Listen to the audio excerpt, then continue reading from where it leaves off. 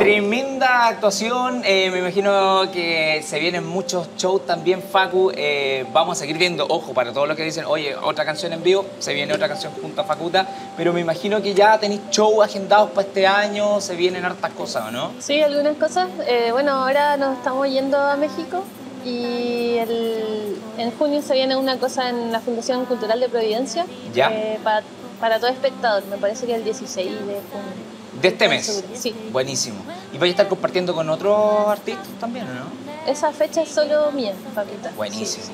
Oye, ¿y cómo es esto de ser parte como de esta nueva camada de música pop, eh, rock, donde están los Denver, donde está Jepe, donde está el Pedro Piedra, la Javi Mena?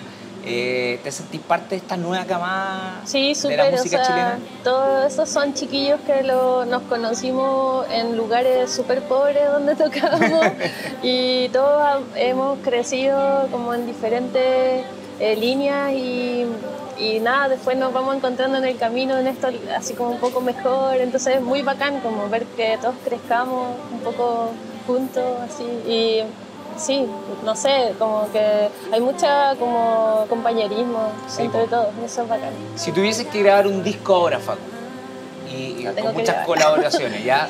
¿Con quién te gustaría hacer, quizás, no sé si la palabra es un dueto, pero una colaboración? ¿A quién te gustaría tener en el disco? Me gustaría hacerlo con más mujeres, como que mi disco anterior fue como con puros duetos varoniles, entonces ahora me gustaría hacer más duetos mujeres, con, no sé, de repente la Javiera Mena podría ser, eh, eh, la Camila Moreno, que es muy seca, no sé, hay varias que, artistas mujeres que están acá, que admiro un montón y que siento que, que si se puede tirar más adelante la carrera de una artista mujer, eh, venga, que hay que hacerlo. Se ha perdido un poco, ¿encontráis tú que este machismo que había como en los 80 en las bandas hoy Sí, día? o sea, yo, como te decía, yo nunca he sentido en la música, en el ambiente musical, salvo por de repente un roadie que conocí por ahí en el camino, pero Ya. no, nunca he tenido una experiencia o mala. sea, los mismos pares no... No, sobre todo de mi generación, yo creo que eh, todos estos cabros y que de Denver son personas súper feministas, igual, como desde el de partida ya yo creo el hecho de querer hacer pop, que es una música como más eh, inclusiva. Hay que tener otra sensibilidad. Sí, no es como esa cosa de ponerse el pantalón de cuero y querer ser el rock and rollero malo de, de la historia, no, como que ya eh, no, es- no está esa cosa tan del macho y de la hembra, como que todo se pierde, todo es más, lo- creo que los géneros están más difusos y eso me gusta, no sé, como... Bacán. Oye, ¿y ¿qué se viene ahora, Facuta? Eh, me imagino que ya, bueno, te vaya a México, pero se viene algo nuevo, estás preparando un Sí, nuevo o sea, disco. a la vuelta a México me, me pongo de cabeza a hacer el disco nuevo, hay varias cosas ahí, loopsitos creados, ideas que se están... Maquetas que están ahí sí. guardaditas ya. Sí, entonces estamos ahí como de a poquito empezando a trabajar, pero ya cuando se acabe un poco la ¿Trabajáis gira sola en la producción?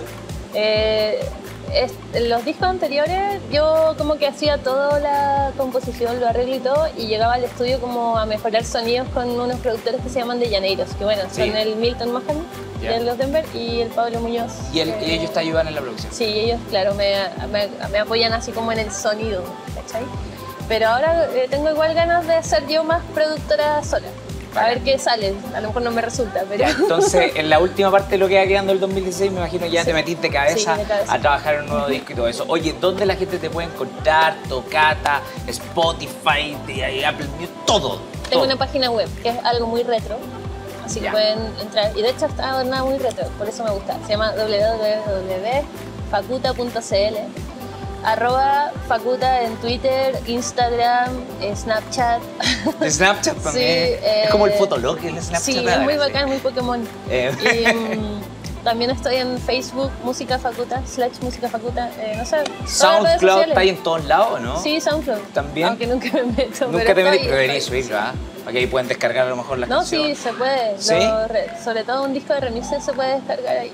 No, Buenísimo. y ellos, eh, tengo, mi primer disco está gratuito en, la, en, internet, así que todos lo pueden descargar. Bueno, y también hay música gratuita ahora acá y de esta forma estamos llegando al final porque todavía nos queda una canción en vivo junto a Facuta. Agradecer de verdad Facuta por haber venido a Move. Gracias por la invitación. Gracias a ti también por compartir tu música con nosotros y también agradecer a Chip Libre que nos permitió estar grabando esta entrevista acá. ¿Qué es lo que vamos a escuchar para cerrar?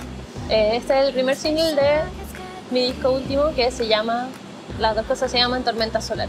Así que Vamos entonces con Tormenta Solar, Facuta, Vamos. acá en. Por favor, Facuta, vamos. vamos.